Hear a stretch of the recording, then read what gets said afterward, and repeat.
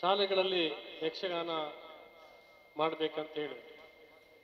ಬಹುಶಃ ಇವತ್ತಿನ ದಿನಗಳಲ್ಲಿ ನಮ್ಮ ಮಕ್ಕಳನ್ನ ಯಾವುದೋ ಒಂದು ರೀತಿಯಲ್ಲಿ ಬೆಳೆಸ್ತಾ ಇದ್ದೇವೆ.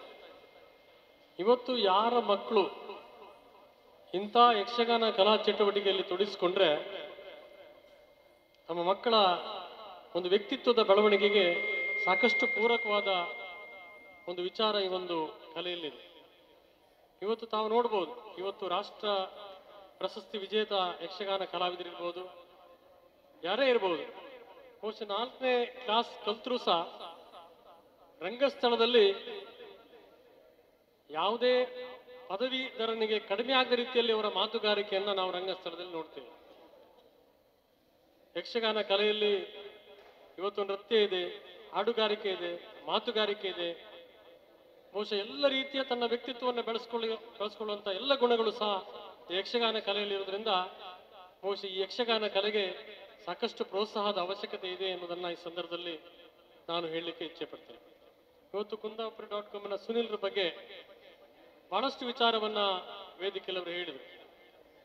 ಬಹುಶಃ ನಾವು ಕಳೆದ ಅನೇಕ ವರ್ಷಗಳಿಂದ ಅನೇಕ ಪತ್ರಕರ್ತರನ್ನ, ಅನೇಕ ತಿಳುವಳಿಕೆ ಇರುವಂತ ಪತ್ರಕರ್ತರನ್ನ ಅನೇಕ ಜನಗಳನ್ನು ನೋಡಿದ್ದೇವೆ. ಬಹುಶಃ ಇವತ್ತು ಒಬ್ಬ ಯುವಕನಾಗಿ ವಸ್ತುನಿಷ್ಠ ವರದಿಯನ್ನು ಮಾಡೋದ್ರ ಮುಖಾಂತರ ಪತ್ರಿಕಾ ವರದಿಯಲ್ಲಿ ಯಾವ ರೀತಿ ಸಾಹಿತ್ಯ ಬೇಕೆನ್ನುವುದನ್ನ ಅಳವಡಿಸಿಕೊಳ್ಳೋದ್ರ ಮುಖಾಂತರ ಒಂದು ಒಳ್ಳೆಯ ವರದಿಯನ್ನ ಇವತ್ತು ಅವರ ಕುಂದಾಪುರ ಡಾಟ್ ಕಾಮ್ನ ಮುಖಾಂತರ ನಾವು ನೋಡ್ತಾ ಇರೋದನ್ನ ನಾವು ಗಮನಿಸಿದ್ದೇವೆ.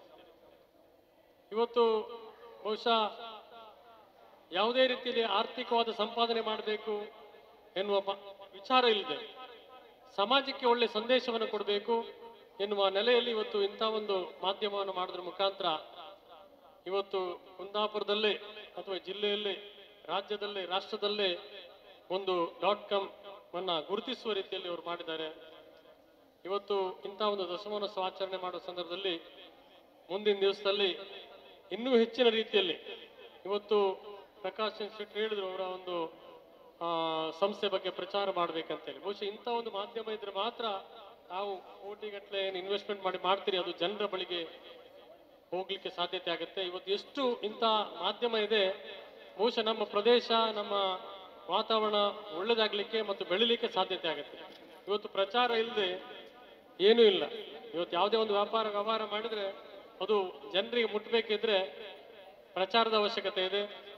ಪತ್ರಿಕೆ ಓದುವುದು ಕಡಿಮೆ ಅಂತ ಹೇಳಿದ್ರು. ಆದ್ರೆ ಇಂಥ ಒಂದು ಎಲೆಕ್ಟ್ರಾನಿಕ್ ಏನು ಮಾಧ್ಯಮ ಇದೆ, ಬಹುಶಃ ಹೆಚ್ಚೆಚ್ಚು ಜನರ ಬಳಿಗೆ ಆಯಾಯ ನಿಮಿಷಕ್ಕೆ ತಲುಪುವಂತ ಮಾಧ್ಯಮ ಇದೆ. ಬಹುಶಃ ಇದರ ಅವಶ್ಯಕತೆ ಮುಂದೆ ಇರುವುದರಿಂದ ನಾವು ಇನ್ನೂ ಹೆಚ್ಚಿನ ರೀತಿಯಲ್ಲಿ ಈ ಒಂದು ಸಂಸ್ಥೆ ಬೆಳಿಲಿ ಅನ್ನೋದನ್ನ ಶುಭವನ್ನು ಹಾರೈಸುತ್ತಾ ನನಗೆ ಮಾತಾಡ್ಲಿಕ್ಕೆ ಅವಕಾಶ ಮಾಡಿಕೊಟ್ಟಂತ ತಮಗೆಲ್ಲರಿಗೂ ವಂದನೆಯನ್ನು ಸಲ್ಲಿಸುತ್ತಾ ನನ್ನ ಮಾತನ್ನು ಮುಗಿಸ್ತೇನೆ. ಜೈ